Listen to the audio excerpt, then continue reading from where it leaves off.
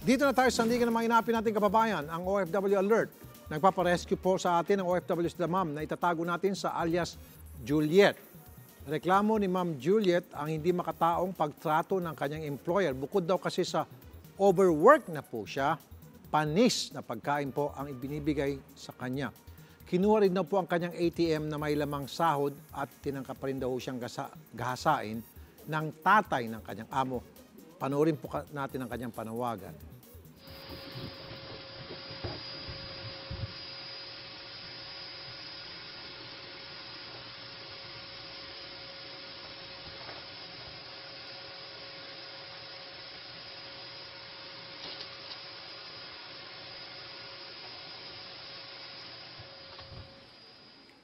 Nasa linyang telepono si... ah, oh, kanina binigyan natin alias, ngayon sasabihin natin pangalan.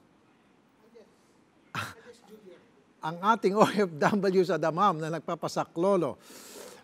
Ma'am, magandang tanghali po. Umaga po dyan. sir. Po. Sir, magandang tanghali po. Opo. Ah, ma'am, sino po yung nasa video na nangaharas sa inyo? Tatay po ng amo ko na babae po. Tatay ng amo. Ano po yung problema ng lalaking yon? Eh, hindi ko po alam po. Ah, ano po, la- lagi po siyang galit dun sa driver niya. Naririnig ko po nag-aaway sila ng driver niya.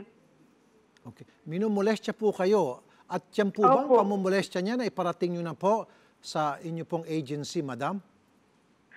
Eh, hindi po nga po sinasagot ng agency yung yung tawag eh. Tumatawag po yung asawa ko.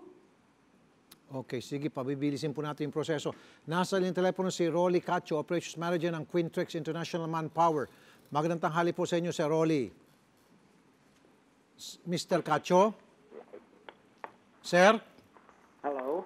Ma- magandang tanghali po, Mr. Cacho. Si Rafi Tulfo po sa TV5. Sir? Ah, yes, sir. Ah, good afternoon din po, sir. Sir, huwag niyo pong banggit yung pangalan ng worker ha. Ah, alam niyo na po siguro, sinabi na po sa inyo ng staff. Pero ito po, pinapanood ko ngayon yung video at kitang-kita po yung ginagawang pamumulestya dito sa inyong worker. Ayun po yung, ngayon lang po namin nalaman yan. Kasi po, sir, yung huling report sa amin po is yung sinuha yung ATM niya. At saka, ah, y- yun lang po yung report niya sa amin na, na ano po, na nakarating sa amin.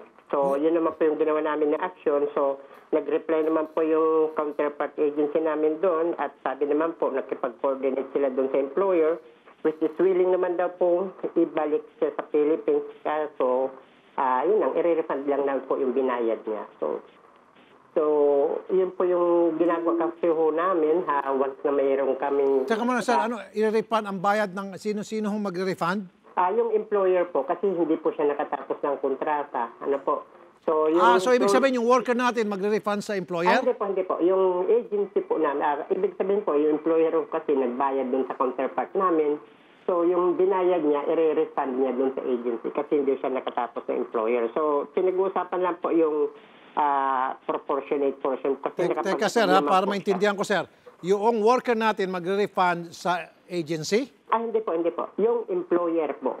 Ah, yung Yung employer. po. Oo. So, pi- pinag-uusapan lang po ngayon yung ah, proportionate ah, ah, rate po, no, yung price po. Kasi ho, ayon ko po niya is ah, nakapag-serve naman po yung katulong na ng ilang months po eh. So, hindi naman ah, kailangan... Sir, huwag niyo pong tawagin na katulong yung ating OFW, tawagin niyo pong worker, tawagin niyo pong Ah, OFW. actually po, nag- nag-chat naman po kami. Sir, huwag niyo pong tawagin katulong yung ating OFW, tawagin niyo pong worker. Mas maganda ah, okay, po. sige po. Okay, sir? Sorry po, okay.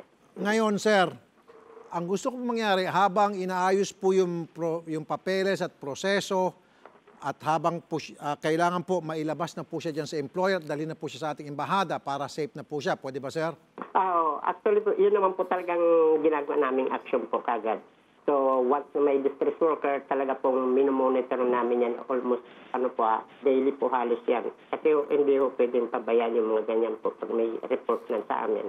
Mainam. Kung ganun po, sir, eh, ngayon pala... Huwag po mag-alala yung ano po, yung ah, pamilya po niya. Kasi po, ah, ano po kami, under, ano na po kami, ah, well coordinated man po yung sa case niya. So, actually ho, nga, ito nga ho, may action na nga po sila na yung gano'n na willing naman po siyang pauwiin ng employer. Okay, sige. Sandali po, Sarah. Kakusapin natin si Miss Marisa Cruz ng OWA, ang ating Wonder Woman dyan sa OWA. Miss Marisa, Good afternoon, Sir Rafi. Good afternoon po. Apo. Okay naman po kausap itong ah, agency, madam, in fairness, ano po. Pero Yes para po. kami po makasiguro lamang, eh, gusto po namin ipaabot sa inyo para kayo po gagawa ng monitoring to ensure na itong mga pinapangako ng agency ay matutupad, ma'am. Yes, sir. Gagawin po natin yan agad-agad, sir. Miss Marisa, salamat po. Ibibigay po namin ng buong detalye pagkatapos mo itong newscast namin, ha? Okay salamat po, Sir Miss Rafi. Marisa. Okay po. Ah, saling si Miss Julie, yung ating worker, yung ating OFW. Ma'am Julie, alias Julie. Yes, yes, yes, sir. Okay, ma'am, ah, siguro ngayon po ay ah, Martes. Ma- Martes ba ngayon? Tama? Merkules po. Ah, Merkules, sorry. Eh, by Friday po, wala na po kayo dyan sa inyo pong amo at kayo po nasa embahada na. Sisiguraduhin po namin. oh Ano po, my? God, maraming salamat po, Sir John. Sige po. Mar- Maraming salamat po. Dahil sa inyo. Maraming salamat po. Sisiguraduhin po namin, ma'am. Nakamonitor po yung OWA, pati ho kami. Basta't by Friday po, umaga, wala na kayo dyan. Ha, ma'am? Rafi, maraming maraming salamat po talaga. Sige po. Walang anuman po, madam. Ingat po kayo, ma'am. God bless. Okay po. Thank you po, ma'am.